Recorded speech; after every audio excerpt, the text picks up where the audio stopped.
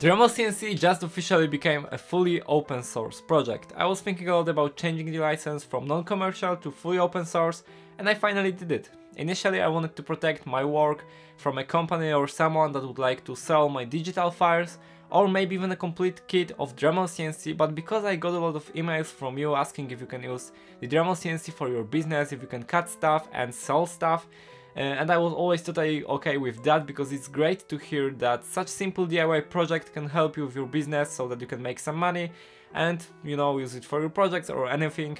Uh, I was also totally okay with printing the parts for your friends or for money.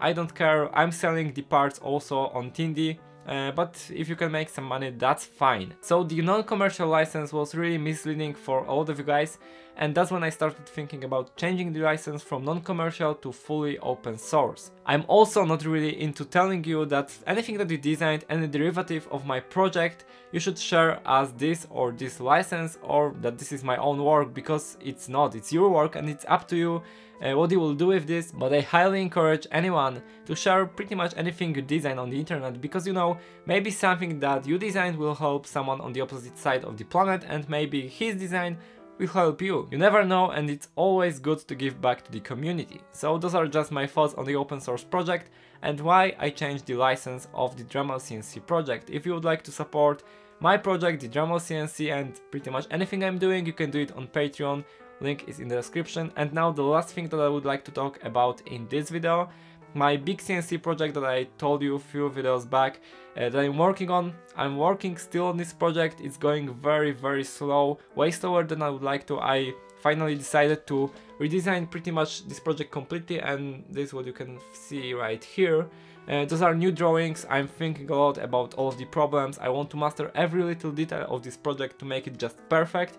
Uh, but we have a problem and that's kind of a big problem because I was just about to order uh, like aluminum profiles, linear rails, some ball screws but not all of them and stepper motors and just those few things are already $800 so that's quite a lot. And the question is if anyone is interested in building quite expensive CNC machine, because you know we have already $800 and there is still quite a lot of parts for the frame to buy, spindle, electronics and those kind of stuff, so this project may be really expensive.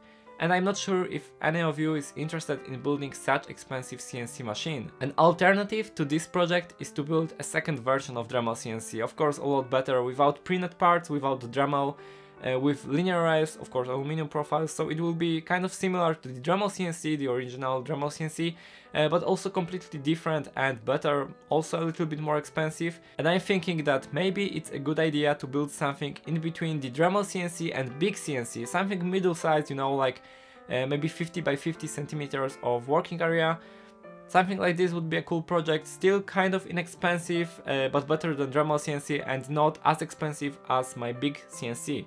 Uh, I will eventually at some point finish the big CNC project and I will build it, but maybe between the Dremel CNC and big CNC it's a good idea to build something middle-sized.